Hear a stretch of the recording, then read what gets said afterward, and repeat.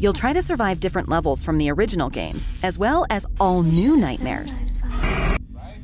Okay. So just be aware, the characters do tend has picked up some unwanted friends. To clear the infestation, apply the Fazbear Entertainment restaurant.